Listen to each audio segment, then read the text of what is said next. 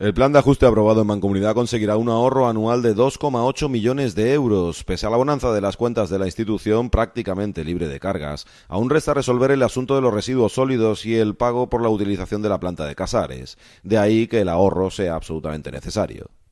La Mancomunidad de Municipios de la Costa del Sol es probablemente la corporación más saneada de toda la provincia. Pagamos puntualmente a nuestros proveedores y eso nos permite dispensar los servicios que se han mancomunado con la máxima celeridad. No necesitamos acudir a financiación externa ni adoptar medidas de austeridad para garantizar la viabilidad de esta Administración. No obstante, los tiempos que corren nos han exigido compromisos con la sociedad que este equipo de Gobierno, con su presidenta al frente, ha asumido plenamente. Se han producido medidas de ampliación de jornada, supresión de gastos de corrientes y, sobre todo, de gastos de representación y eliminación también de plazas de cargos políticos sin necesidad, pero por solidaridad nos hemos sacrificado como corporación.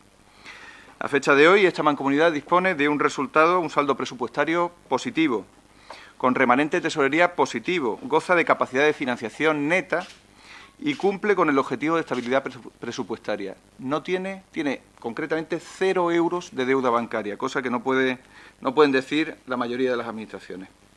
No obstante, en nuestra contabilidad figura una única deuda que es, sin embargo, de gran calibre.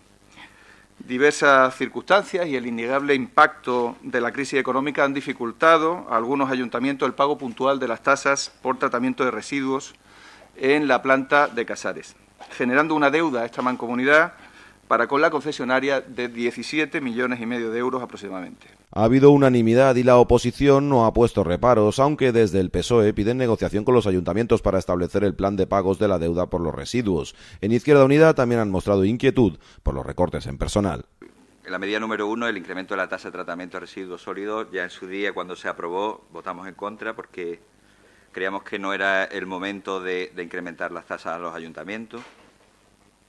En segundo lugar, y como dice el compañero del Partido Socialista, Creemos que en este plan de ajuste, la medida número dos, que es la firma de planes de pago con los ayuntamientos, tendría que venir ya recogida en este mismo plan para saber exactamente cuál es la deuda que mantiene cada uno de los ayuntamientos con la mancomunidad por la deuda que tienen con Urbaser y ver cuáles son los planes de pagos que van a hacer cada uno. Como bien decía Félix, aquí ya somos todos responsables de esa deuda, no van a ser cada uno de los ayuntamientos, sino que somos todos los que tienen la deuda y los que no las tenemos.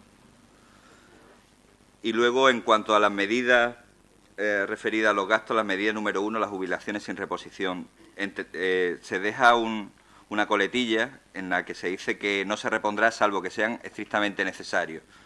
Ese estrictamente necesario eh, pensamos que tenía que aclararse más, porque viendo la situación en determinadas áreas de, esta mancomunidad, por ejemplo en la oficina técnica, si se produce una jubilación, básicamente nos vamos a quedar con lo opuesto. Que la subida de tasas de basura no es una subida que se acuerde hoy, es una subida, eh, es una actualización que se produjo hace ya algún tiempo y que tiene que ver con un déficit, déficit de la concesión, con un desequilibrio, con una deuda en definitiva que asumía esta corporación y es obligado por ley en la medida en que la concesión estaba desequilibrada.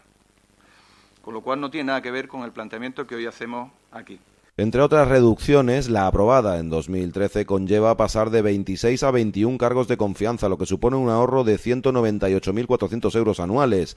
A partir de 2016 y hasta 2021 se aprueba la reducción progresiva hasta alcanzar los ocho puestos de personal eventual, con lo que se conseguirá un ahorro anual de 500.000. En el apartado de ingresos, la presidenta de la Mancomunidad ha subrayado el compromiso de la concesionaria de aportar hasta 800.000 euros para iniciativas o servicios que tengan que ver con el tratamiento de residuos.